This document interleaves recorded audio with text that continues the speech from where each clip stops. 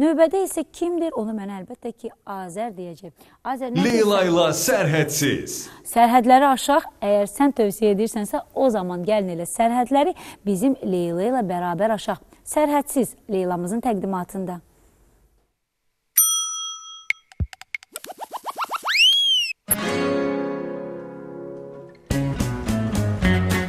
Dostlar, hər vaxtınız xeyir olsun. Mən bu dəfə də növbəti maraqlı bir qəhrəmanımla bütün sərhədləri qırmağa gəldim. O həm balıqçıdır, həm ağac üzərində oyma işi ilə məşğuldur, həm də xalçaçılıqla məşğuldur. Bu dəfəki qəhrəmanım mənim üçün də çox maraqlıdır. İstərdim ki, sizi onunla tanış edim. Mən Məmmədov yadigar Kamil oğlu 29 yaşında e, fiziki məhdudiyyətim uşaq serebral iflisidir.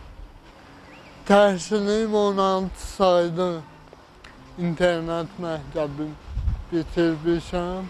Dənizçiliklə məşğul olmuşam. E, Hal-hazırda sağlamlıq imkanları məhdud gəncləri peşə reabilitasiya mərkəzində xalçaçılıq üzrə ə, sənət öyrənirəm.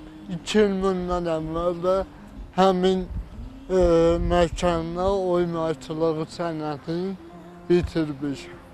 Mən hansısa insanı bir motivasiya edəndə həmən gün özümü uğur qazanmış hesab edirəm. Bir dənə qorxum Allahdan, Allahdan da nəyə görə qorxuram? Onun yaratdıqlarına qarşı və ona qarşı bir səhv addım atmaqdan hər zaman qorxmuşam.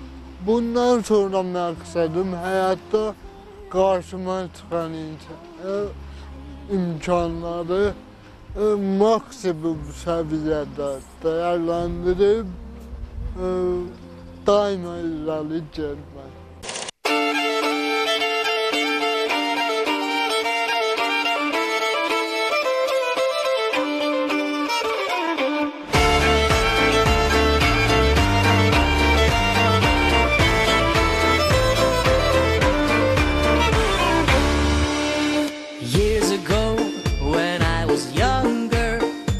Salam Yadigar. Salam. Özünü necə hiss edirsən? Hmm, biraz həyəcan var hardasın. Çünki iki tərəfədir. Mən də bilirəm ki, sən əvvəllər buz meydançasında olmamısan, heç mən də olmamışam. Elə isə vaxt itirmədən nə edək? Başlayaq.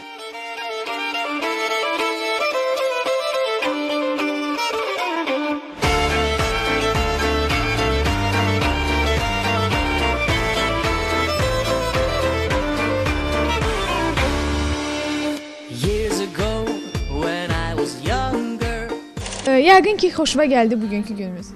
Çox maraqlı keçdi. E, inşallah bura yenə gələcəm. E, tam öyrənmək üçün. İnşallah dostlar, mən də ə, uğurlar arzulayıram və ə, deyirəm ki, biraz da sürməyə davam eləyək. Görək başımıza nə gəlir.